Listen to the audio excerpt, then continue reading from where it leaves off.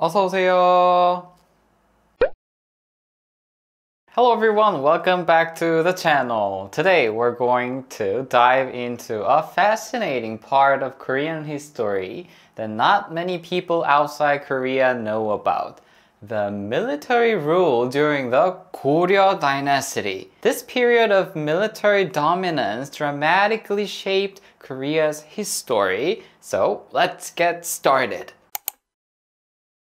To understand the military rule, we first need to talk a little about the Goryeo dynasty itself. The Goryeo dynasty lasted from 918 to 1392 and it's where the name Korea comes from. Goryeo, Korea. Goryeo was a powerful kingdom that unified the Korean peninsula after the fall of the Silla dynasty. Its capital was located in Kaesong in present-day North Korea.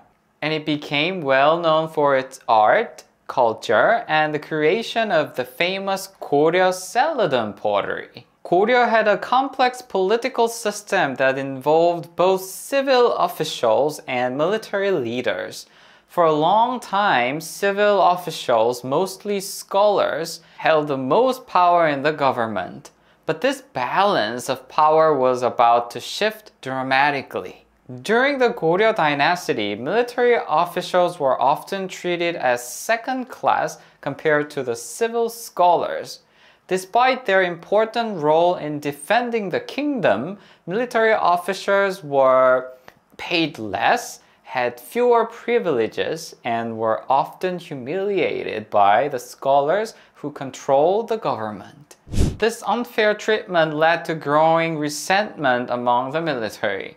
The situation came to a head in 1170 during the reign of King Eujong when the military led by General Cheong Jung-bu, Cheong Jung-bu and others decided to take matters into their own hands. This event is known as the military coup of 1170.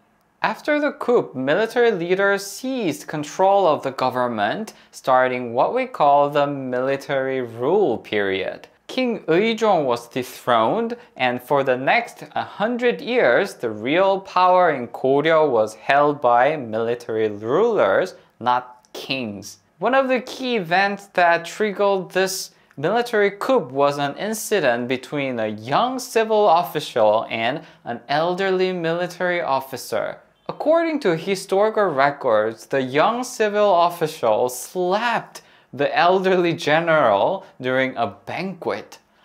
This act of public humiliation perfectly illustrated how the civil class disrespected the military, despite the military's important role in protecting the kingdom.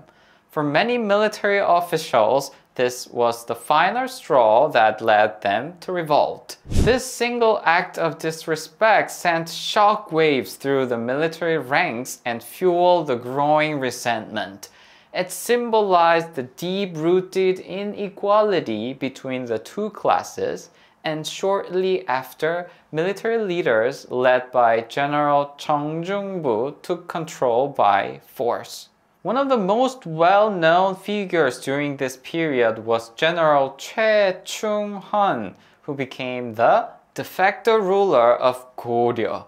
Under his leadership and later his descendants, the military leaders held absolute power while the kings were reduced to figureheads. So, what was life like during this time? For many ordinary people, the changes in leadership didn't affect their daily lives too much.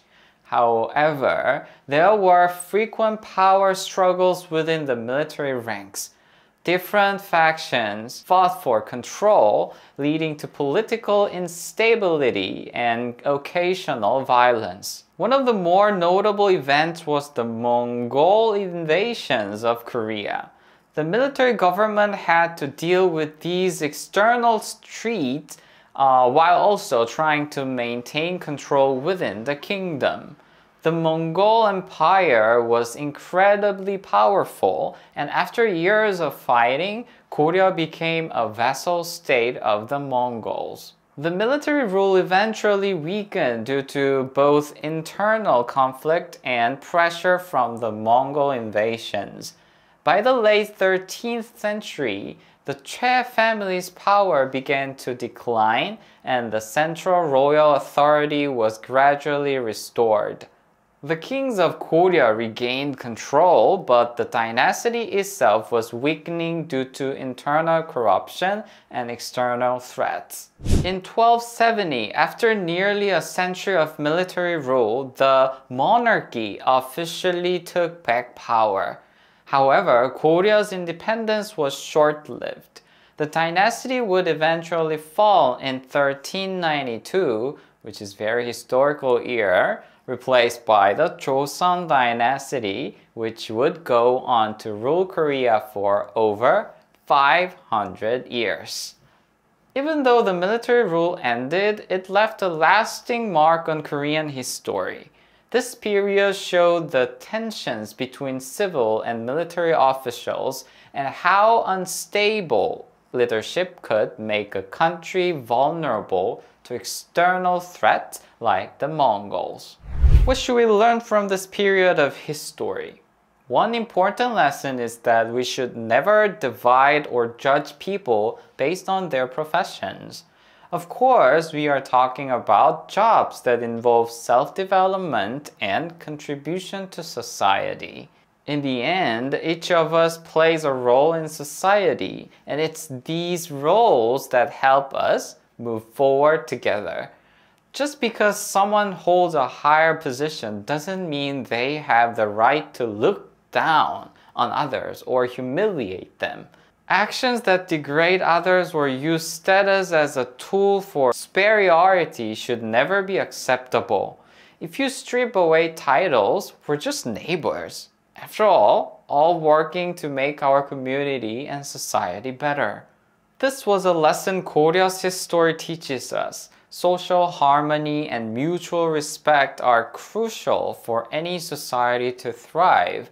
The imbalance and abuse of power during the military rule caused chaos and suffering, a reminder of what can happen when we fail to respect one another as equals. That's all for today. Thanks so much for watching. I hope you found this look into the Goryeo dynasty's military rule interesting.